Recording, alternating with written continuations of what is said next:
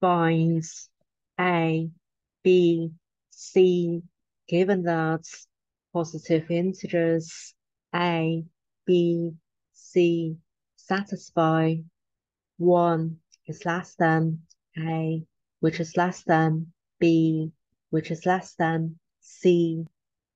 The sum of ABC equals 111 b squared equals AC. We have three variables, two equations, and one inequality. From equation three, we can see that b squared equals AC, which means that AC is a perfect square.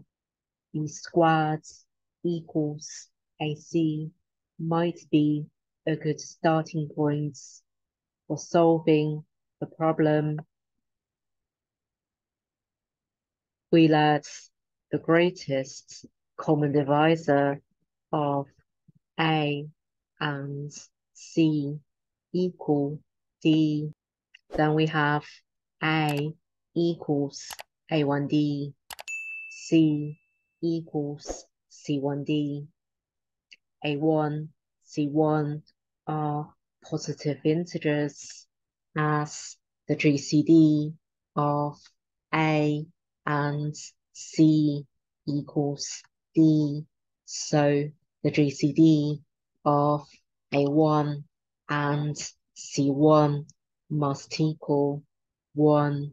A1 is less than C1.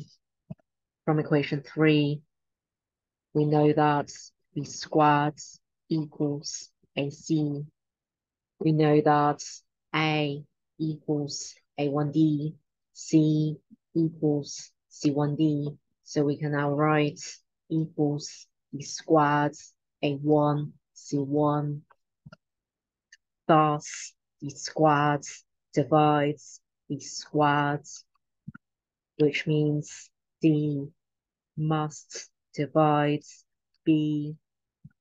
Now we let B equal B1D. B1 is a positive integer. B1 squared equals A1 C1. Since the, the GCD of A1 C1 equals 1, so A1 C1 must be perfect squares. Now let A1 equal m squared C1 equal and squared m n are positive integers. The GCD of m and n is 1 then b1 equals mn m is less than n since the sum of a b c is a hundred and eleven.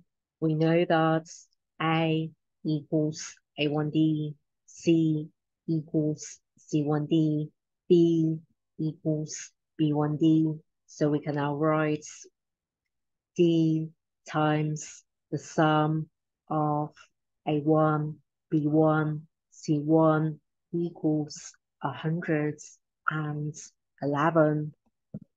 We know that A1 equals m squared, C1 equals m squared, B1 equals mn.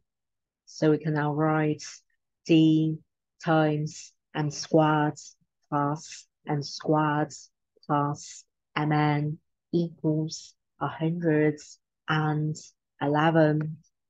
Factors of a hundred and eleven are one, three, thirty-seven, a hundred and eleven as m n are positive integers and m is less than and So m must be greater than or equal to 1 and must be greater than or equal to 2.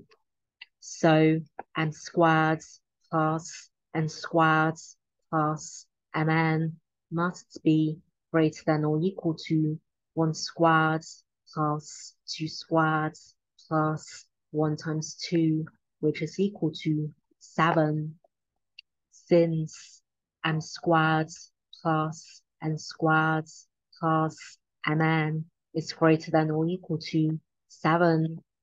So either d equals 1 or d equals 3 is 1, d equals 1, which means m squared plus n squared plus mn equals 111. So m equals 1, n equals 10 is a unique set of solutions.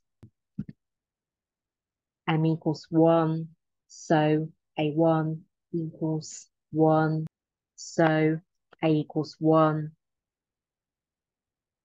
We know that 1 is less than a, so a equals 1 is discarded is 2, d equals 3, which means m squared plus n squared plus mn equals 37.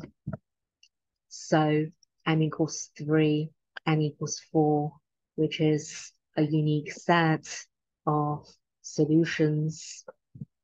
A1 equals m squared, so A1 equals 9. B1 equals Mn, so B1 equals 12.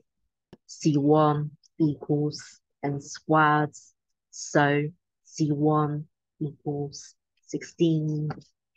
A equals A1D, so A equals 27.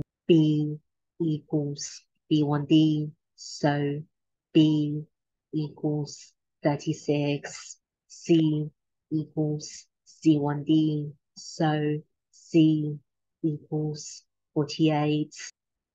So this is the only set of solutions.